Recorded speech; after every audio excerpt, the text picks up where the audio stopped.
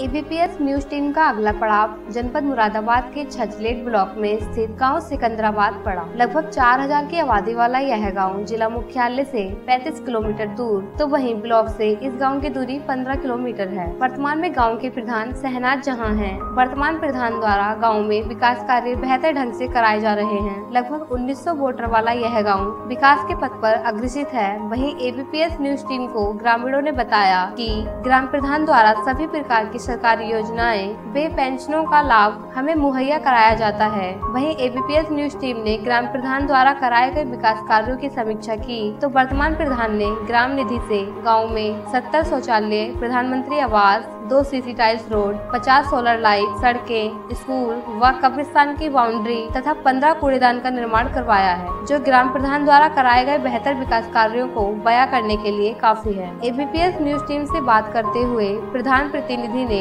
गाँव में शमशान घाट प्राइमरी विद्यालय का निर्माण, बारात घर, पंचायत भवन, स्वास्थ्य केंद्र, पशु चिकित्सालय एवं एक नाले के निर्माण की राज्य में केंद्र सरकार से मांग की है। सबसे पहले तो मैं एबीपीएस को बधाई देना चाहता हूँ, जिसने इस मुहिम को बहुत ज़ोरों से उठाया है। मेरी पत्नी ग्राम सिकंदराबाद, ब्लाक सिलेट की ग्राम प्रधान है। मेरी पत्नी ने इस ग्राम में बहुत ज़्यादा विकास कराया है, कब्रस्तान की बाउंड्री, स्कूल की बाउंड्री, और सीसी टाइल्स लगवाई हैं, लाइटें, सोलर लाइटें लगवाई हैं, सत्तर शौचालय हमने बनवाए हैं। प्रधानमंत्री आवास योजना के तहत पाँच पात्र व्यक्तियों को आवास दिलवाए हैं। कुछ पात्र व्यक्ति छूटे हुए हैं, जिनके लिए कोशिश प्रयास, प्रयासरत है मेरी पत्नी। और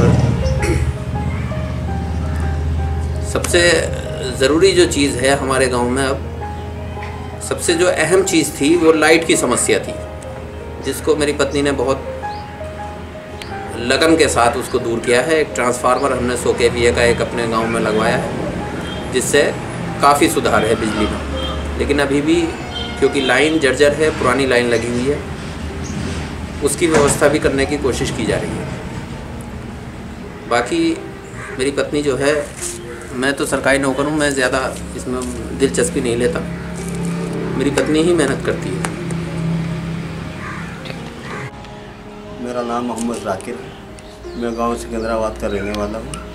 और जो प्रधान है हमारी, सैनाज जहाँ। उन्होंने जो है अभी लगभग दो साल हुए हैं। इतना काम किया है, इतना विकास किया है। जो और दूसरे प्रधान थे, जो पूर्व प्रधान थे, वो दस साल में नहीं कर पाए, जो जो मौजूदा प्रधान ने दो साल में कर दिया।